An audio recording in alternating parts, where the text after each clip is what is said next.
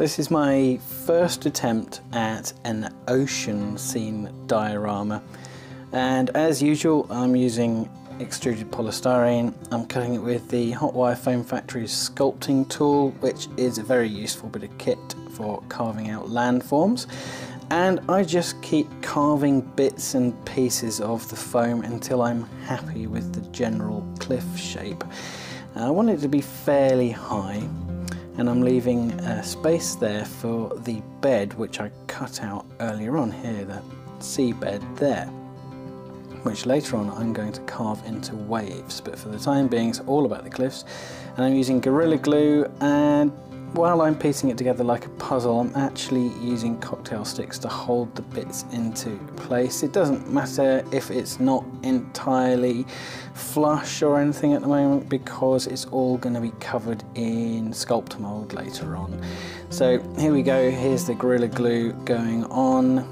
I damp it first and then squish the Gorilla Glue on and then I weigh it down because it expands as it cures and foams so it pushes the foam apart so what you need to do is weigh it down or at least clamp it or something and I'm piecing it all back together as it was before and that's me just pressing in the cocktail sticks there. Right now I'm drawing out the general wave shape I want on that other piece of foam that I cut out of the second board and then I start to carve that out with a knife. At this point I realised the first knife I was using was far too stiff. You need a bit of a flexible knife carve out the wave shapes. What you're after is some natural looking waves all flowing in the, the right direction. Pay attention to uh, photos online. Make sure you know what waves look like when they come into the sea, uh, into the land. They don't all break in different directions. They're all generally going in one direction.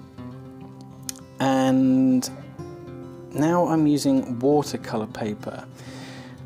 I might use toilet paper next time because it's easier but this I wanted nice rounded wave shapes and I thought this was a good way of doing it so I cover the sea bed foam in Mod Podge matte diluted and then I press over the watercolour paper. It doesn't matter if it cracks here. I keep going over it with a bit of Mod Podge, keep squishing it into all the gaps here, making some very realistic foam shapes. And as I said, it doesn't matter if it cracks um, because I'm using acrylic caulking here to cover up those cracks and also to fill in any bits I wasn't happy with, to re-sculpt bits.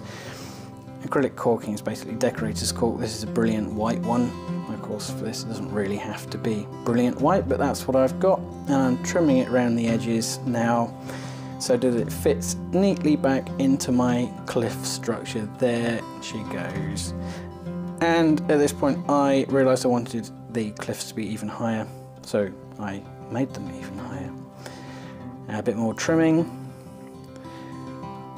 and then I glue the sea down with more Gorilla Glue which is running out at this point but doesn't matter because it sticks like you know what.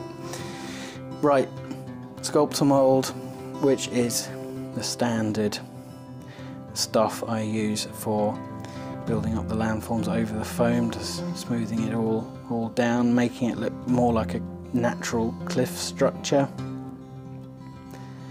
applying it fairly thickly because, as I've said in previous videos, it probably will never dry if it goes on too runny.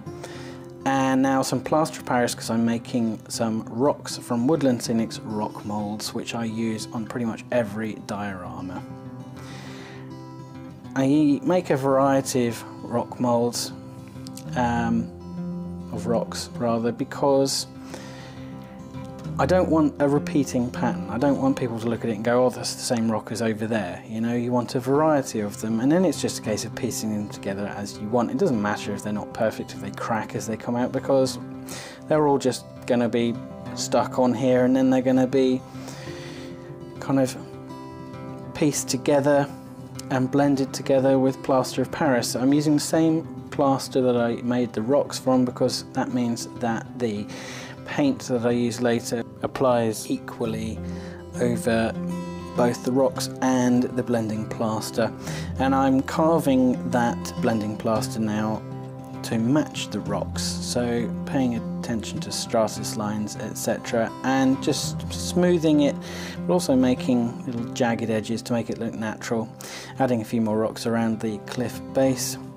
Now for the acrylic washes. So this is a, a slightly grey black for the first bit which I rubbed off the highlights of the, the rocks the, the top edges of the rocks so it just goes into the fissures then a bit of yellow and burnt umber, it was yellow ochre actually, which I spot over um, probably two thirds of the rocks and then dry brushing it with some white so I'll just catch the edges. And now I'm going to paint the base of the sea which I use a kind of very dark greeny blue and then paint the top of the rocks, uh, the top of the cliff with an earthy brown and now I'm highlighting the waves with uh, a lighter blue colour, some kind of lagoon colour I guess. And then a bit more highlight.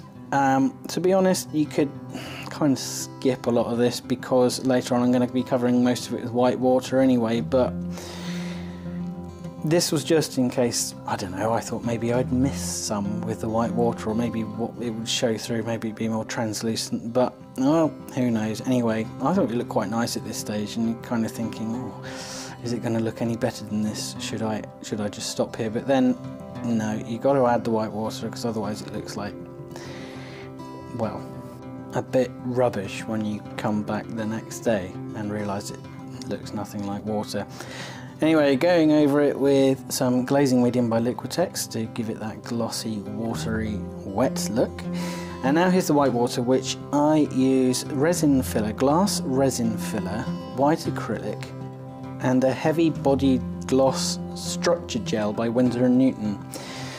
And this creates a very thick paste, but you can apply it all over the waves and even make all these three-dimensional splashes up the rocks uh, as well as foam on the top of the waves.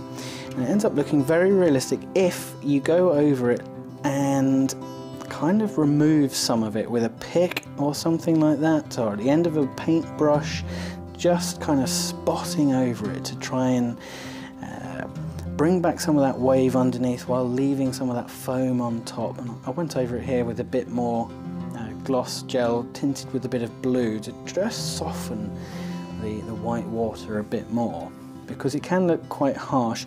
But as I say, you just need to chip it away, pick it away, add it here and there. I'm using a bit of cotton wool here to add more of the sea kind of foam as it splashes up the uh, up the rocks and some polyfiber for the very fine spray at the end.